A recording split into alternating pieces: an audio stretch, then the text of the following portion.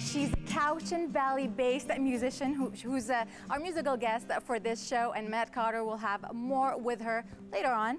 Uh, today's show is packed full of interviews and entertainment. We have two new guest hosts. Well, they're volunteers of ours, uh, Ian Holmes and Kim Plum uh, Plumley. And uh, Ian will be uh, doing an interview about an autism awareness event, while Kim is gonna getting all artsy with the Spring Glass Art Show. We're also highlighting two different websites today, uh, one to help teens counter bullying and the other one about real estate investing. Also in the lineup, the Vancouver Island Economic Alliance will host the second annual Linking Island Business Networking event. Finally, just in time for Easter, we've got uh, some tips uh, on decorating beautiful Pisanki eggs. All that and much more on this 23rd edition of the show.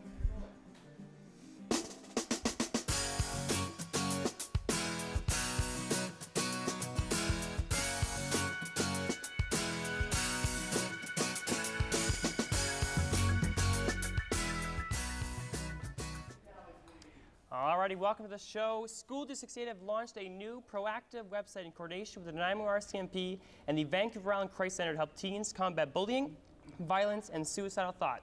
To help us understand of this new site, today we're joined by District Principal Student Support Services, Mr. Bob Esslinger, and NDS student Rachel. Uh, welcome to the show. Thank you guys for coming. Uh, Bob, exactly what is this site? Well, this site is um, was made actually, it's community based, as you said, and it was made to give teens and youth in our community access to supports and services 24 7. And so the purpose is basically that if I'm being bullied or I need help, is to go to the site tntnanaimo.com and that's all there? Exactly. The site actually serves two purposes for our, for our youth. Uh, the first purpose is that it will give them access to uh, community agencies that they may not know are available to them and the second is to report online uh, instances of bullying or harassment. And so this is kind of the, the new up-to-date thing because I know you can get on your smartphones, your BlackBerry iPhones, that's all available. So if I went to my BlackBerry, tntnanaimo.com, it'd be, I could read it. Well, exactly. That's the, the point is that it's, it's what teens use. It, it's uh, available and accessible to them 24-7, and they're very familiar with the technology. It's not to say that these things aren't, or these resources and services are not already available in our community. They are but we want them to be available to our youth 24-7. So Rachel, you're a grade 10 student in NDSS. Is there online bullying, you know, via Facebook, Twitter, MSN? Definitely. I mean, Facebook and Twitter have just made it that much easier to just type a few words and click send. Um, we've noticed it a lot more um, with Facebook just sending like harassing messages and it's really disturbing because you see it, it's just, it's there for everyone to read. So this new website, tntnanaimo.com, do you think this site will help teens get help, or do you think it's just going to be another website on the web? Um, I really hope that it goes through, just because it's made especially for students in the Nanaimo and Ladysmith district, and it just it offers local help. Um, I don't know if a lot of people know this, but um, it's anonymous. So when you fill out the form, it's sending it right to your vice principal and counselor and principal. And so I really hope people can take advantage of it. Yeah, great. So everyone at home right now, they're uh, well, they were getting a little glimpse of, of this thing. So as uh, Rachel was just saying, so say I go fill this form, and uh, uh, who will find out? Will my principal, my, my mom, my dad, uh, the RCMP? Who is going to get this information? Okay. Um, so when the form gets completed, before you actually get to the form, when a, a youth is wanting to fill it out, there comes uh, two questions. Uh, is it an emergency? And of course, if it's an emergency, the site will directly automatically to the RCMP to a 911 call. Uh, if it's uh, outside of school hours, whether it's holidays or in the summer, it also will make mention of the fact that uh, the site will send it to your principal during school time, during school hours, during the school year. And at other times, if it's an emergency, contact the RCMP. So to play devil's advocate a little bit, you know, let's say a group of teenagers, you know, Friday night and they want to do kind of a joke, you know, let's just say we're being bullied. Let's just send a little message to tntnanaimo.com. Are you guys concerned about that? Concerned, no. Um, we hope that teens will use it. We, know, we all, always we will anticipate that there will be some instances of, of pranks, and we, we're going to take every one of them seriously. So let's talk about this. I was at the site uh, not too long ago, and there's this possibly of winning an iPad. Yeah. Well, what's that about? Well, that's an incentive. We, we are hoping that teens will want to check this, this app out, this uh, site out. And so to get youth to go there, we have um, a, a- draw for a, an iPad. And uh, you know, the, all the information about this iPad and the draw is on the TNT site. And we're hoping that local businesses will be interested and, and get a hold of us and say that they'd like to, to sponsor one of these, these uh, draws. Yeah. So when did this site go live? You know, when were you guys thinking, you know, we need to do this? Do you want to answer that? Sure. Um, it actually, they um, sent it out on February 29th, which is um, Pink Shirt Day or Anti Bullying Day. So that's the last Wednesday of February. And I think it was just perfect timing for it to come out. So we did this joint um, press release or news conference, and Rachel was there, and we met with the media and we launched the site. It was- Awesome. Well, thank you guys for coming in. Uh, thank you, Ms. Lester. Thank you, Rachel. We all know bullying is a serious thing, so if you're looking for help or resources, please visit the site that again is tntnanaimo.com. Now we're going to pass things over to Dunya Tosi, who has some Easter egg decorating. Dunya? Thanks, Tally. Well, uh, Easter is just around the corner, and that means it's time for eat chocolate Easter bunnies and uh, Easter eggs. And well, you know, there's so many different ways to decorate Easter eggs, but one of my favorite ways is the Ukrainian pisanki way. And here we've got with us today Jean Rudy from the Ukrainian Cultural Center to show us and uh, tell us, give us some tips on how to make these. They, they look really harder than, you know, than, than, than what I think, like, like the normal things that I buy from Walmart. Yes, and these are not edible. Uh, we're, they're not food color. They're special commercial aniline dyes. I see, I see. And I see that you, you've gotten already a head start on one of them that we're going to be showing later on. But, um, I mean, Ukrainian Easter egg, egg decorating goes back a long, long way, way before Christ. How did it get incorporated into Easter? Oh, traditionally in pagan times, the symbols on the eggs would symbolize the sun for growth. Uh, the egg was a very power, powerful symbol. It symbolized a new season, new life, rebirth. And later, when the Ukrainians adopted Christianity in 988, a lot of the symbols developed religious significance. Continuous lines around an egg would be eternity. Um, a fish would set, represent Christ the fisherman. so Oh, a lot of really the, and then you started to see things like crosses, pussy willows, very Easter Chris, uh, traditional type of patterns. I see that there's a variety of patterns here. Where do you get the ideas from? Oh, I have hundreds of pictures of eggs from books, postcards. Um, this was a, a, a Mother's and Father's Day card, um, just all over the place, postcards. And after a while, you just basically create your own. And I don't just do traditional Ukrainian ones, I also do Halloween eggs and Christmas eggs. um, That's awesome. Wow. And, and how long have you been doing this for? I probably got started doing them consistently about high school. That's when my aunt gave me all her supplies, and I started doing it from there.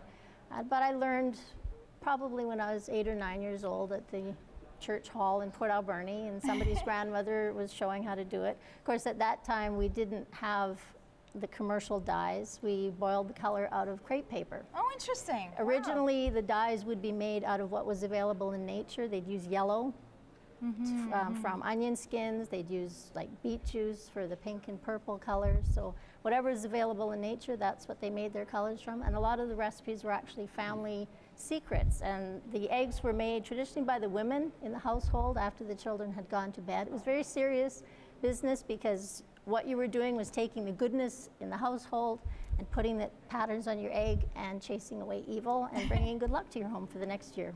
Nice. And I, I, I've always wondered, like, some of these I, I feel like they're empty, and I know some of them are not empty. So, I mean, first of all, like, how do you empty them? And, and you were talking about the, the life Well, of the egg, right? yes, traditionally the Ukrainians did not empty the eggs because that was the whole point was that it held new life, the promise of rebirth. So an empty egg, in a sense, would be a dead egg. And Mm. they actually would decorate eggs that were from the chickens that had been fertilized so that they, again, were a promise of new life and fertile for the next year. And to stay for a long Yes. time, I guess. um, so, for somebody who's a beginner, uh, I know you're from Ukrainian heritage, but like, what what do you need to start? What what, what are some of the supplies that you need?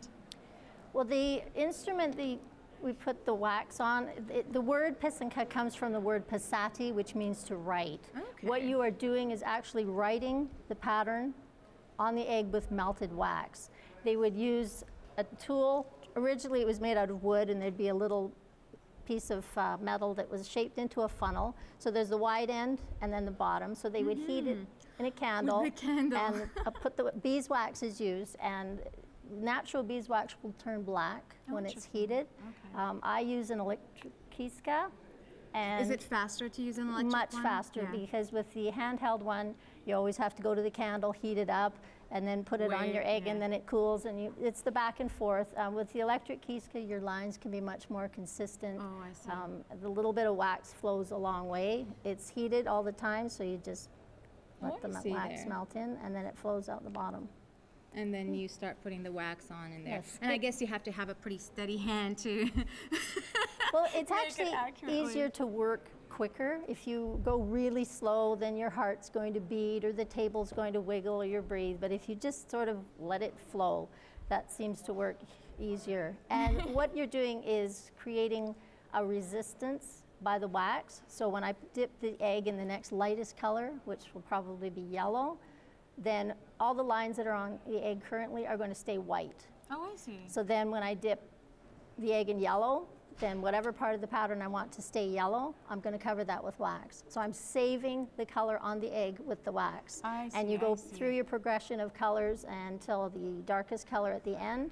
And then at the end, you remove the wax and all of your colors show through. Beautiful eggs afterwards. Well, we'll come back uh, to Jean later on in the show, at towards the end of the show, to see how far she's come with the egg that she's working on right now. But for now, we're moving on to Bob Fenty, who's uh, talking to the uh, Rotary uh, District. Uh, well, actually, yeah, he's talking to somebody from the Rotary. Thanks, Dunia. And yes, today we do have with us uh, Mr. David Stocks on our show. Uh, David is Rotary's District Governor for District 5020, and uh, District 5020 covers an absolutely huge, huge area, all of Vancouver Island and Western Washington State. And as I said, it's a big, big area. Welcome, David, to our show. Thank you, Bob. You've made a, actually, you've made a, a really tremendous commitment and, and contribution to Rotary in District 502, David. And what motivated you to, uh, to devote so much of your time? The simple answer, Bob, is pleasure or joy. It is an enormous joy to, to play out acts of service for other people. Rotary is a phenomenal mechanism or tool or device by which an ordinary person like me can do magic all over the world. Incredible. Yeah, you're right. During your year of, as district governor, travel, I'm sure, must have been very constant on your mind all the time. How did you and your wife Frances manage to plan and, and enable you to visit 88 clubs in our district? Well, it wasn't so much me and my wife Frances, it was my wife Frances who did the plan. having having uh, concern for uh, the 600 mile height of our district uh, and worrying about the ferry schedules, because in the winter, of course, the ferry doesn't run all that often uh, to Port Angeles from Victoria. So it was, we traveled every week from the 7th of July till the 9th of December, except one week where we spent the whole time at home. Really? Then that must have been at Christmas time, was it, when you relaxed and enjoyed yourself? Sure. During your career, David, you, you traveled extensively, and I'll, I'll go back, I'll take you back to Montreal, to Edmonton, to Calgary, Seattle, Kamloops, Colwood, and now Victoria. But, but I know there really is, there's another special spot in your heart uh, for our youth of, our, of the world. And tell us briefly, if you would, about the high school in Malawi for, for young girls. In the last couple of months of 2005, a young teacher from Pearson College came to my Rotary Club and started talking about this dream of building a high school for poor girls in a rural part of Malawi. And it was a crazy idea. I mean, very, very impractical. But one thing led to another. We did some planning, did some fundraising, and we built the school. Frances and I have been there. We've met with the Board of Trustees over there. We've inspected the school. Uh, the school director and the project manager have been over to visit us here. And it's now one of the top three high schools for girls in Malawi. Wonderful. And it, actually, there must have been a lot of fundraising involved as well, was there, to, to get the school up and running? Yes, the whole project, as originally defined, is about $2.2 million. Wow. There are 36 Rotary clubs and about 300 Rotarians supporting the school. Well, as your years gone, gone along, I'm sure you've encouraged so many around you to look at the countless opportunities that are available to, for Rotarians to serve not only in their community but also around the world. And in one of your essays, you mentioned the feast of opportunities that are available. And uh, tell us briefly, if you would, David. That, those are just fascinating. Well, uh, Rotary's trying to do five basic things um, disease prevention and treatment. And as you know, we've pretty well conquered polio around the world. We have. Um, water and sanitation, safe water uh, is a pretty necessary ingredient. We're trying to reduce maternal mortality and the death of early of young children, spread basic literacy, and entrepreneurial skills, and get people microcredit or whatever so they can start a little business and make a living. But all of those cannot be done in a war zone. So our first, the first of our areas of focus is peace and conflict resolution. Wonderful opportunity. Yes, and you're right. There's so many things that Rotary does that the world really doesn't know about. And uh, as you've mentioned, there's a number of them there. David, in, in your last newsletter, you mentioned that any Rotarian who read that newsletter and didn't learn something, you were going to buy them an appetizer or dessert at, in Victoria at the, at the district conference. And you know, I've learned so much listening to you and, and researching you that I'm going to buy you a dessert in Victoria Oh, next weekend. Good plan. Chocolate mousse And with you know- strawberry sauce. Yeah, it's coming. David, thank you so much for taking time from your busy, busy schedule. I know you're leaving here, you're off to Port Alberni to, to visit another Rotary Club, and you're coming back to, Port, to, to Parksville. And again, so yes, thank you very much for taking time to come on our show. A and pleasure, now Bob. we're back for station break.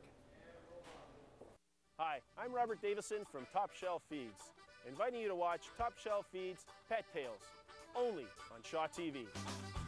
An entertaining look into the world of pets and animals, whether furry, hairless, feathered, or even scaled. We cover them all. Tune in for tips on how to care for your animals or fall in love with the SPCA pet. Featured on every episode of Top Shelf Feeds Pet Tales, only on Shaw TV. Welcome back to the show. What show? The show. Only on Shaw TV.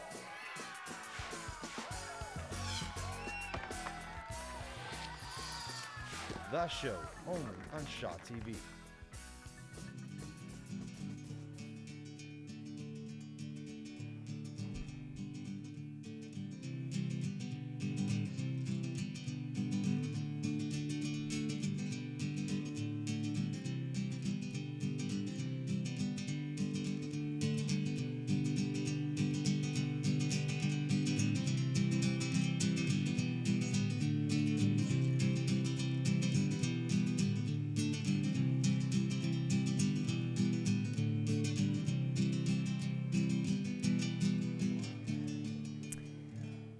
That was the beautiful music uh, fr- of Kelly Girvan again, and we'll have more from her on the show later on.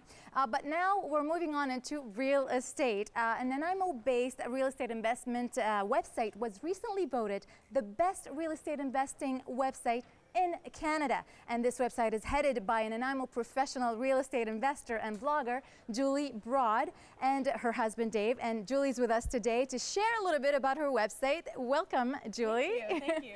well, so Julie, the best website, the best uh, real estate investment website in all over Canada, and this is the second year in a row. Yeah. How does that feel? It's amazing. It, and it was voted on by the readers of Canadian Real Estate magazine. So we're really grateful because it's not just, you know, it's people who are reading our stuff that have voted us best website. So that's pretty cool. Wow. So, and, your website is called Rev N You, right? And Yeah. what is it all about? Well, we started it years ago when we uh, we watched one of those late night infomercials. You know, I'm sure you've seen some of those Oh, where yeah. the you know big name guys come into town with this free session at a local hotel, and we went to that session and you know we got really pumped up about investing in real estate. So we signed up for the courses and went gung ho, and we bought lots of properties. This was 11 years ago, which is great, except for nobody taught us that some of these properties, if you buy them in rougher areas, you can have really bad tenants. We had actually, we actually made the paper. This was in Ontario, but we made the paper for having a local crack house. Oh my God. Our property manager had just let it get really run down and we weren't in town, so we weren't overseeing it. And yeah, we have all kinds of crazy stories, which is how we got into writing about it and putting it on the website and starting to help other people. Because what happened was about five years into it, after we cleaned up a lot of the mess we'd gone through, we looked at it and we went, oh, some of the things, you know, we had good properties too. And what we had done to get those good properties, it was repeatable.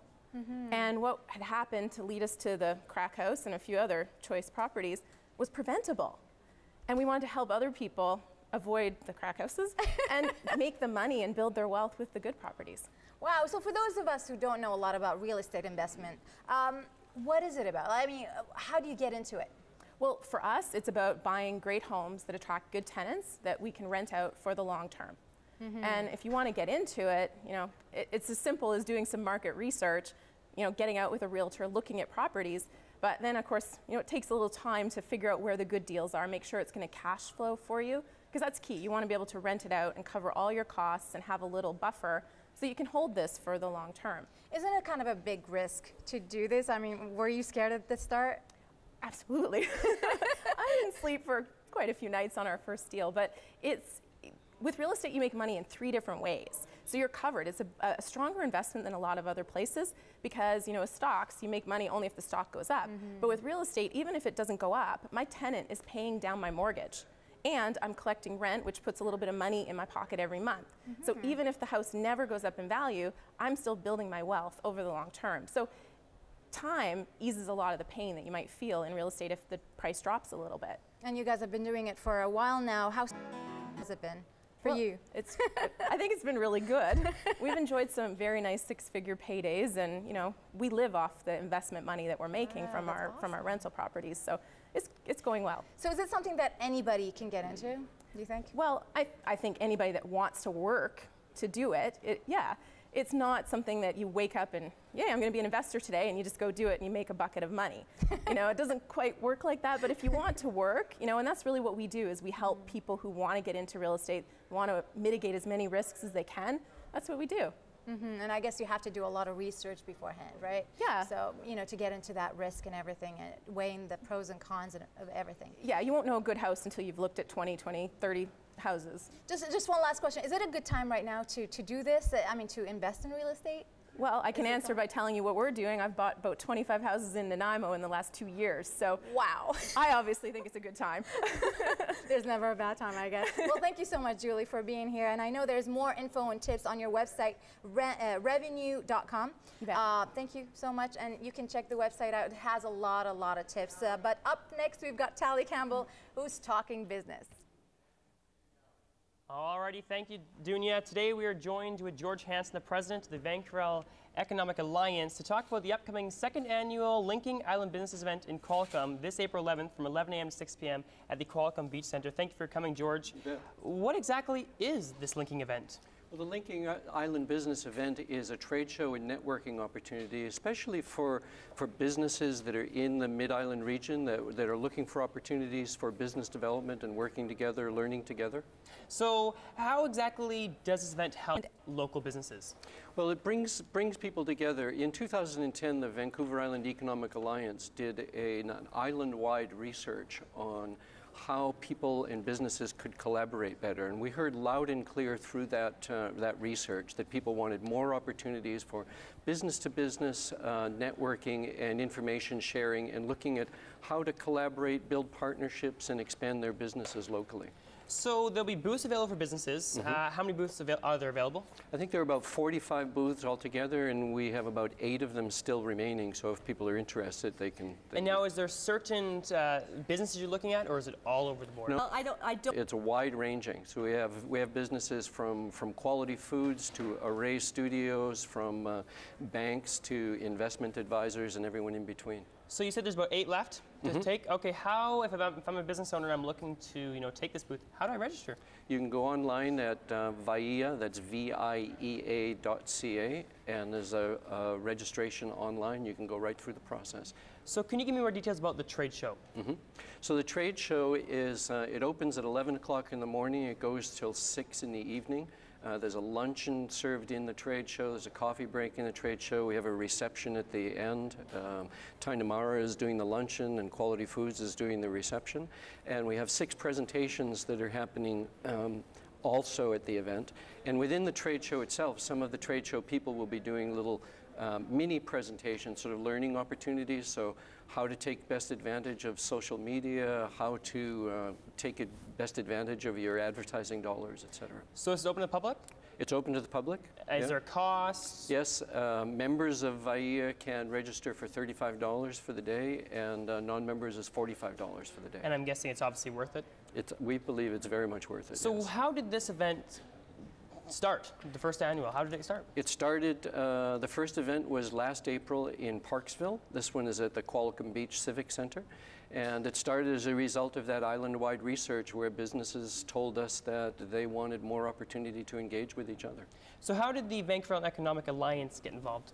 Well, the Vancouver Island Alliance uh, started the event, uh, did the research that led to the event, and is now continuing to, to drive the event forward. And you know, part of the presentation of the event is topical uh, sessions that we believe are important to businesses. So one of the sessions uh, sponsored by BC Hydro, for instance, is about how businesses can access contract opportunities with the John Hart uh, uh hydro project that's happening in Campbell River. Uh, Raven Coal Mine is doing a, an information session to tell people about what they're doing and what's going on with that. Um, Meyers Norris Penny, or MNP now, is, uh, is doing a session on succession planning to help uh, young entrepreneurs interested in buying businesses and what to look for, and for aging entrepreneurs who are looking to sell their businesses, how, how they do an exit strategy. So, did the Vancouver Economic Alliance get this thing started? Yes. So, what kind of businesses have already signed up? You know, if I'm a person looking to yeah. come on by, what kind yeah. of businesses can I expect to be there? Wide range of businesses, uh, sign shops, uh, banks, uh, web producers. Uh, uh, event managers, all kinds of businesses have signed up. And so I, I forgot to touch on this, but what would it cost if I was a business that wants to get involved?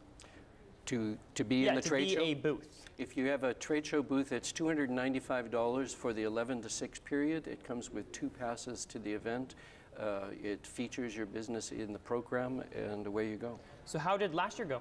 Last year went very well for a first-time event. I think we had uh, well over 200 people there, and it's, it was it was very well received. So, are you? Is this from other uh, communities? Are other communities doing this type of stuff, or is this kind of the first thing?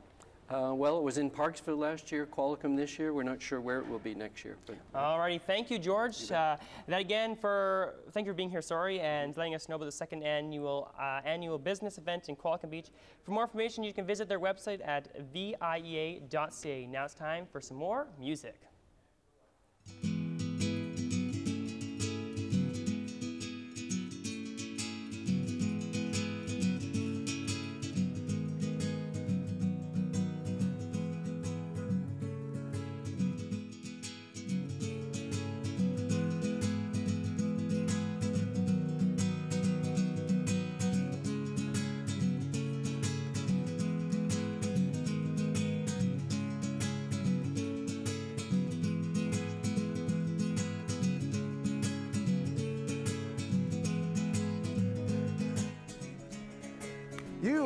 Listening to the sounds of a wonderful multi-instrumentalist, guitar, accordion apparently, as well as piano. You're going to hear later a fine vocalist as well in bluegrass, folk, country, all sorts of great styles.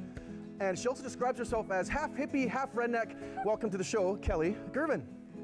Thank you. You're very welcome. All right, who came up with that line anyways, half hippie, half redneck? Um, I think it just kind of evolved from the place I grew up, a little bit of you know, redneckish northern Alberta ways, and then moving to Vancouver Island and kind of, um, you know, leaning towards more the leftist kind of hippie movement, I guess. So All right, yeah, yes, fitting in nicely, exactly. Yeah, exactly. Yeah, you mentioned yeah. Uh, growing up in northern Alberta, so I did a little research. You grew up in Hines Creek, which I hoped was the birthplace of ketchup. no, it's did- not. no, different, different. Different uh, spelling of Hines. ending. Yeah, exactly. exactly. Yeah. So, but named after a fur trader. And I Yeah. looked it up again. It's about halfway between Edmonton and the Northwest freaking territories. It is, And I got a kick looking at the website. It said the population was approximately 396 people. It was 500 when I was there, The so boom that's days. gone down. Yeah, yeah, exactly. So yeah. tell us sort of what it was like growing up in an environment like that, and sort of what was the music Um, scene there? What got you into music in a little place like that? I grew up on my aunt's and uncle's knees, playing the spoons and in the kitchen having jams and stuff like that. Um, I played piano from a very early age, and uh, that's kind of been my my passion underneath everything that I've been doing. So, just for my family, basically, And family was it mostly uh, mostly country music, roots music? Yeah, sort of roots kind of music, Appalachian, um, country western. Grew up. Johnny Cash is my favorite artist ever. Yeah. Nice. Yeah, So, no, of course, the man yeah. in black. Of course, you are the woman Yeah, I in black guess here. so, yeah, I guess, Exactly. yeah. So, what is it about Johnny Cash's music that you love, and how much do you put his sounds, his music, into your own Um, compositions? I liked his simplicity actually. Um, when he first started out, it was just upright bass and him and a lead guitar player, and uh, I found his lyrics to be very soulful, and it just he sings from the heart everything he does, and I always just had a great appreciation for his movement as well because he kind of bucked the system every once in a while. So Absolutely. yeah. Bit of a renegade. a little bit of a renegade, yeah, Absolutely. absolutely, yeah. Cool. And so you talk again about Cash's group being small and yourself. I mean, you obviously do some solo performing, but also play with a do. gentleman named uh, Jeff Ellis. Yes, Correct. yes, And now, yes. interesting. he- He's a fellow from Virginia. Yes. So how'd you guys meet up in the Cowichan Valley of all places and start Um, playing your music? Well, I'm a elementary school music teacher, and um, I was programming and organizing an arts and culture week, and I was happened talking with the uh, um, kindergarten teacher, and she said, "Oh, my husband plays music," and so it's her husband, and we ended up meeting up. He came and did a bluegrass demonstration. Oh, very cool. So he brought in all of his instruments, and then um, ended up playing with him and his band out at the shipyard in a place called Maple Bay, just outside of Duncan. And that's where I started last year, just singing along with them, and it kind of just progressed from there. And and so now we've got him and I did an album together, so it's great. Yeah, he Oh, did all the instruments, and I uh, wrote all the songs and played rhythm guitar, and he did everything else. So is that it's the great. album right behind us? It is. All right. Thank you. Reach. All right, come on, Derek, focus in, buddy. All right, this is the album here, Pieces of the Puzzle. And I mentioned this is available uh, from from you at your shows. Yes, And uh, can you also stream some of the songs online as well? Yes, yeah, through ReverbNation and CBC Radio 3. Very nice. now you did mention as well a teacher in an elementary school, so you should probably look into the camera and wave hello to your students. Hi. Hi, which, el- kids. which elementary school is it at? At Alexander Elementary in Duncan, yes. Now you told us me an interesting thing off air about how you actually have a different name when you're I in do. your teacher role, Yes, sort of deal. um, I wear my glasses and I go by a different name when I'm teaching, and then when I'm out and about doing my shows, I'm a different person, I guess. So, Yeah. um, generally, because I'm singing songs about whiskey and drinking and carrying on and stuff like that, something that my kids Exactly. don't need to see. So. That isn't written That's right, yeah. Exactly. All right. Well, again, uh, we've heard some uh, examples of your guitar playing, so we're gonna have a song coming up here soon with some vocals as well. Now, I know uh, after your song, we do have some segments uh, featuring eggs and glass, proving as well if you live in glass houses, you shouldn't throw eggs either. Otherwise, it's gonna be Easter famine. And of course, they're very fragile. And again, the song you're about to play for us here has a bit of a fragile nature as well, perhaps fragile of the heart. What's the name It of the is. song? It's and tell us a bit about it. Start over, and it's about starting over your life, basically. Yeah, finding the good things in bad situations. Perfect. All right. Well, again, all the way down from Northern Alberta to BC, uh, Thank you. Cowichan Valley. So glad to have you uh, joining you. an amazing music scene here on Vancouver Island. yes, so, thank you. Kelly Girvan here on the show on Shaw. Over to you. Thank you.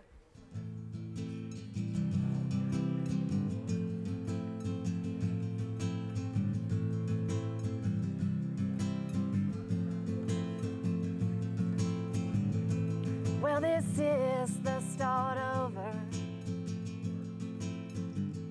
A turning point in my life. Try to pick up all the pieces.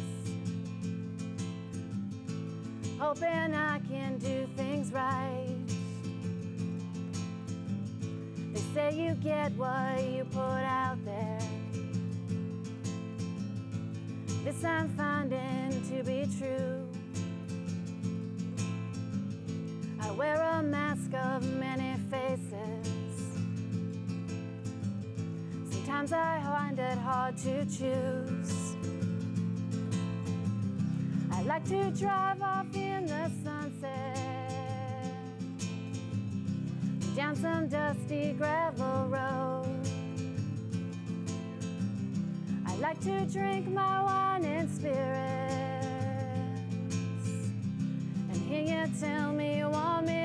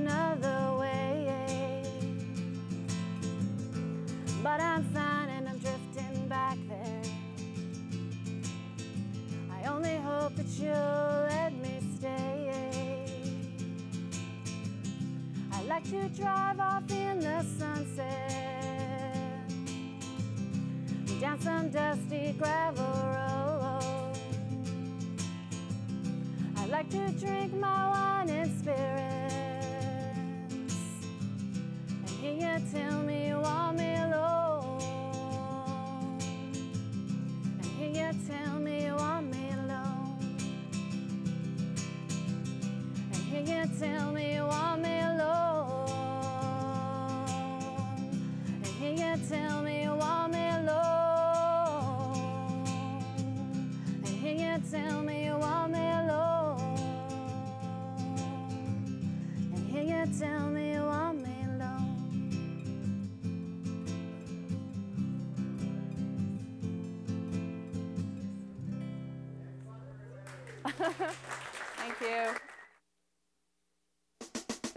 And now, back to the show, only on Shaw TV.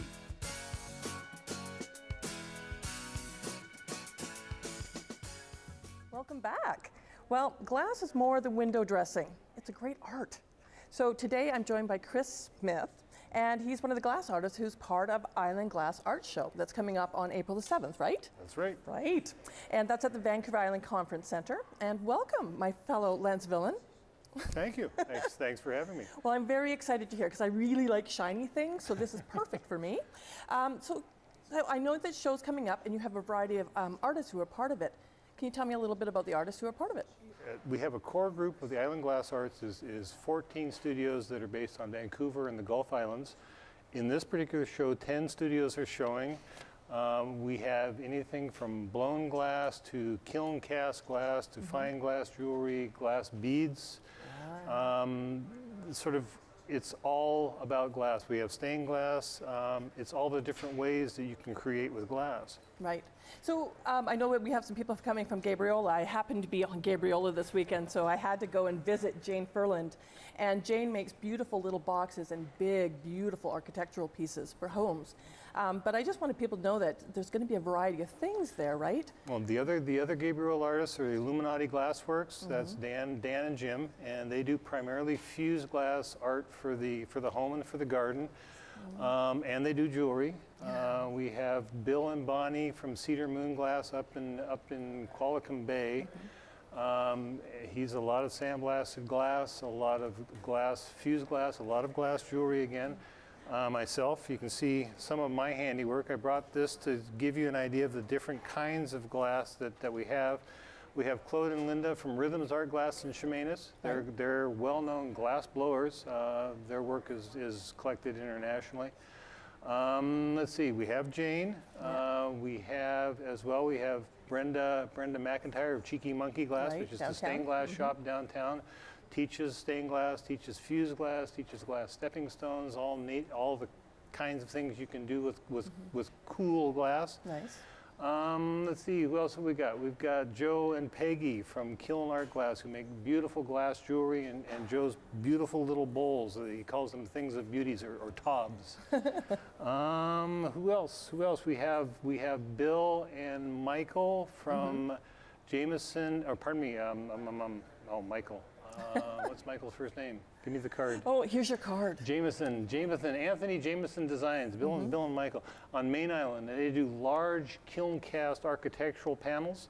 Right. Um, have I forgotten anybody? If I have, they're going to kill me. uh, LG Art, Halima, uh, and Halima is a is a glass blower who uses um, laboratory glass and does beautiful stemware. Uh, and we also have Red Room Glass, makes absolutely gorgeous. Damaris makes absolutely gorgeous beads. They have whole little worlds inside of them. They're just fabulous. She teaches in Toronto. She's basically internationally uh, recognized and, Right. and uh, collected. So tell me a little bit about this piece. It's it's quite a, a variety of things, and I I know it's one of your creations, so there's something in it that Well, this, you're this, working this, on. this is basically uh, uh, my homage to water, and it's water in its many forms. Um, but it's primarily it's, it's kiln it's kiln cast glass, and this is solid glass. Oh. It's probably about over 10 pounds of glass, five plus kilos, so over 10 pounds of glass, 11 pounds. Um, the glass has been cast. Some of it has been cast and polished, and then some of it has been sandblasted. Mhm. Beautiful. We have This is, I, I've seen your studio and you in action with your, your sandblasting. It is something to be seen. He does do um, tours at his studio in Lantzville. So explain us uh, how sandblasting works. Well, basically, sandblasting is, is you take your, your piece of glass and you visualize your image. You're going to lay on a, a piece of resist, a piece of vinyl. You're going to cut it out, and then you're going to sandblast the pieces that you want to appear the closest or the deepest, and you're going to work your way through. So, in the case of, say, the codfish here, Right. I'll sandblast his inner eyeball first, and the veins in his fins, and then I'll sandblast his outer eyeball, and then I'll sandblast his gills, and I'll work my way Right. forward until I got the whole body of the fish. Lots of detail, uh, lots of, uh, yeah, your studio, you've got it all laid out and how it's all going to work and, Yeah. and the whole little, I love that the sand blasting is downstairs and very exciting. Um, you have taught a lot of these people who are being part of the show. Not a lot of them. I've, Oh. I've only had, and I'm not going. I'm not going to sit and say or look at. You know, not going to try to claim glory in my students' work. So I'm going to. I'm going to leave Oh, that one okay, alone. okay. There's but there's very exciting people coming and Yep. very gifted people um, and making glass into this amazing functional. Mm-hmm. Um, there's architectural, and we also have beautiful jewelry, which is very exciting. Sorry, I hit my mic. Um, but yeah, amazing things. And there's all sorts of price points, I think, for Yeah. people to come in. So if you are looking for the big pieces, um, there's certainly those available. And you'll be able to see a lot of really fun and, and interesting, very West Coast feeling kind of art, too, I've been noticing. Most of the studios are, are able to take commission work. Uh, a Mhm. lot of them myself, in particular, I've spent years doing architectural stained glass and sandblasted glass in people's homes and residences Right. throughout Nanaimo, uh, Nanoose Bay, Parksville, Qualicum. So, and a lot of the studios are, are able and willing to do that. And In fact, a few of them are basically that's what they do. And, and Anthony Jameson Designs, their work is all about commission work. It's all specific, one of a kind, architecturally specific glass. Right. Uh, I know with your sandblasting, you also do a number of awards. You do award um, sandblasting and for people. Um, that's a big business for you as well. That's more Cedar Cedar Moon's Ballywick. Bill Bill uh, Bassarato was a, was a graphic designer, or is a graphic designer. He was in Vancouver, uh, Surrey, and he sold his studio as a graphic design company and moved his his operation over here. Uh, he's up in Qualicum, Qualicum, like I said, up in Qualicum Beach, Mhm. and Qualicum Bay, sort of Uh, up that area? Yeah, north North Qualicum. Um, yeah, and he does a lot of a lot of that sort of service award sort of stuff. Great. Well, it's really exciting to see all, all the varieties. So, and then this is um, hand drawn.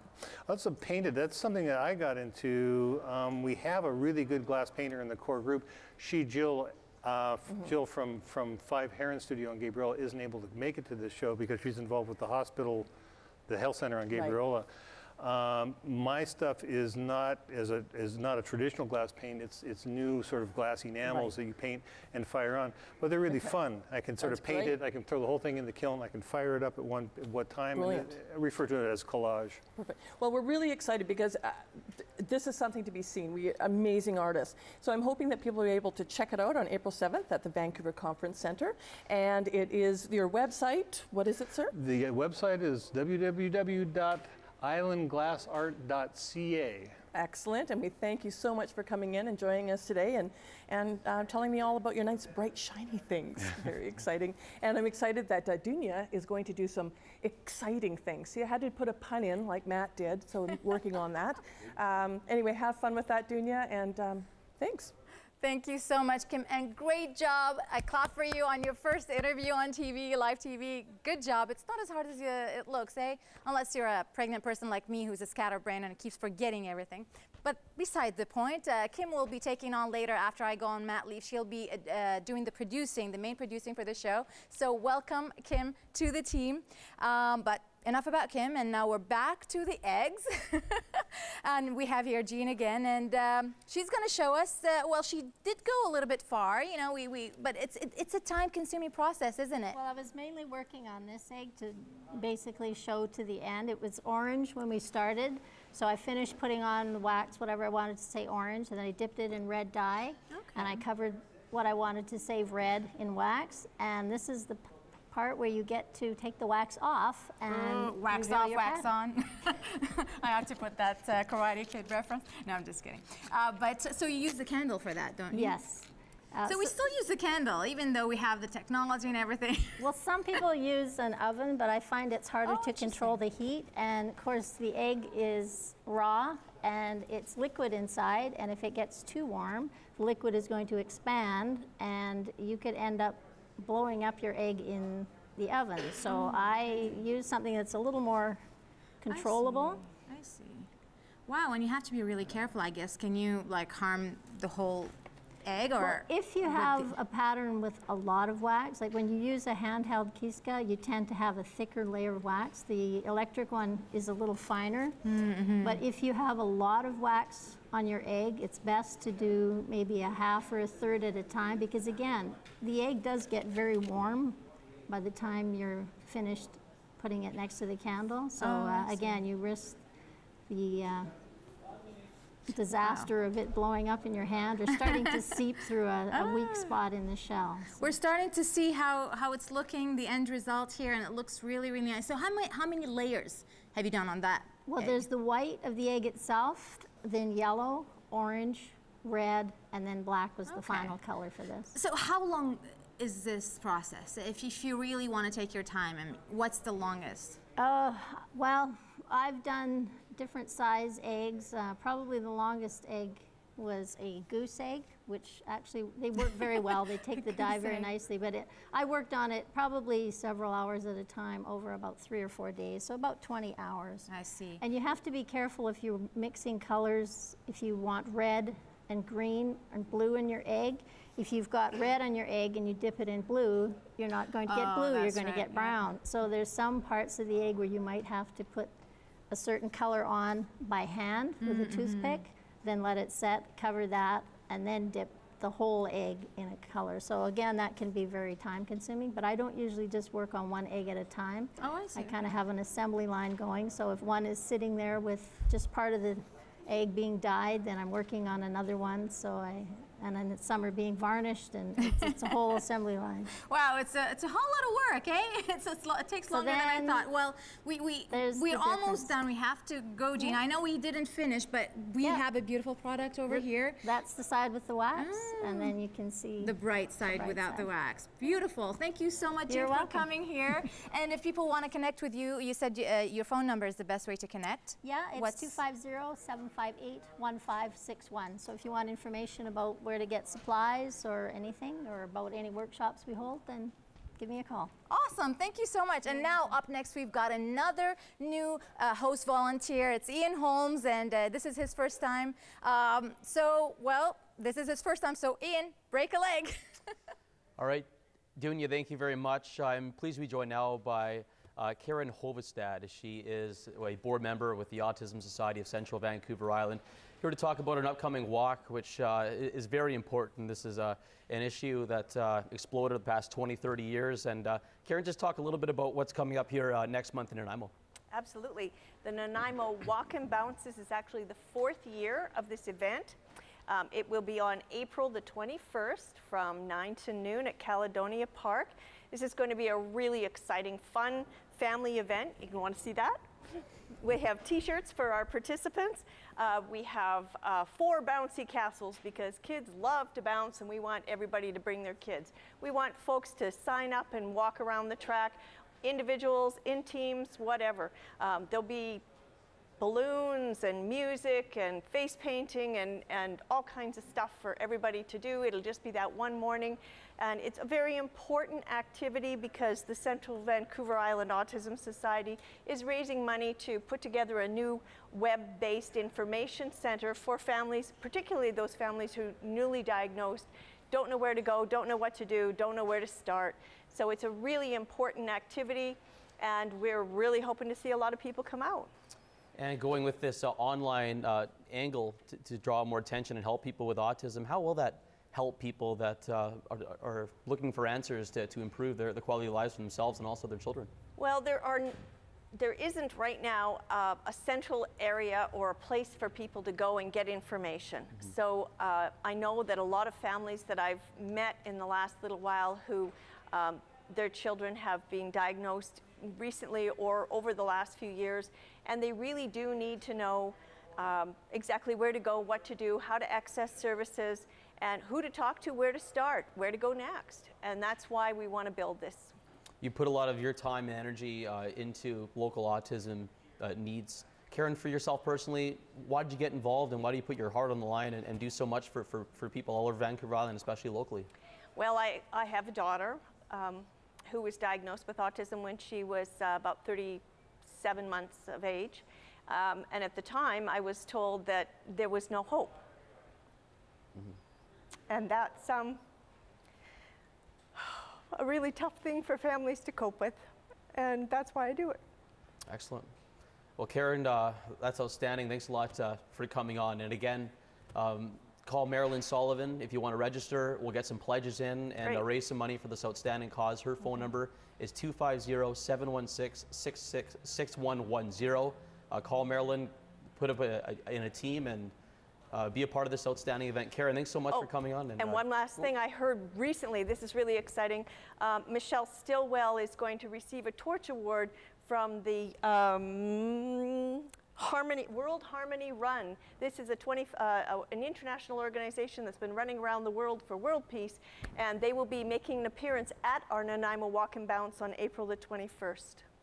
Very exciting. And again, uh, Marilyn Sullivan, 250-716-6110. Thank you. And Dunya, that's it uh, for Karen and I.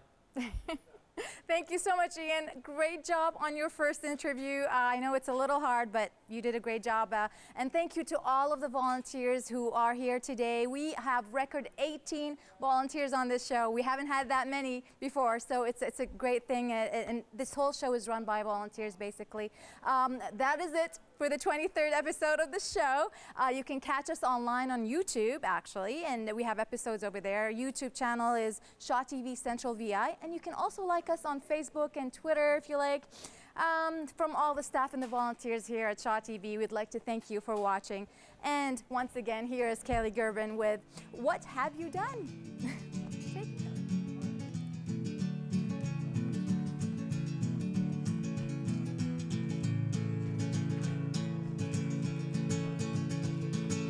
Got the message from the train line today. The paper read I'm coming home to stay. Tidied my room, put some curls in my hair. Looking out my window, waiting for you there. My stomach's still churning, I'm aching for your touch. One shot of the whiskey doesn't calm me much. The only question that I do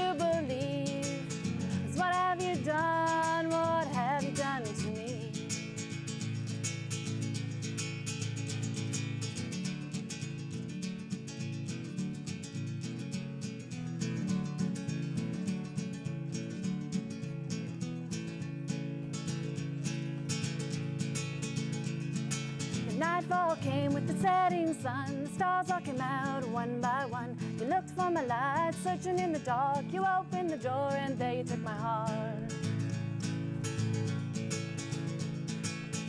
My stomach's still churning, I'm aching for your touch.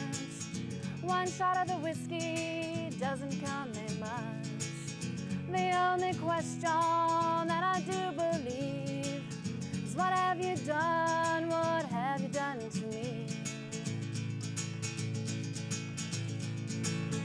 My stomach's still churning, I'm aching for your touch. One shot of the whiskey doesn't come me much. The only question that I do believe is what have you done? What have you done to me? What have you done? What have you done to me? What have you done? What have you done to me? Have done to me?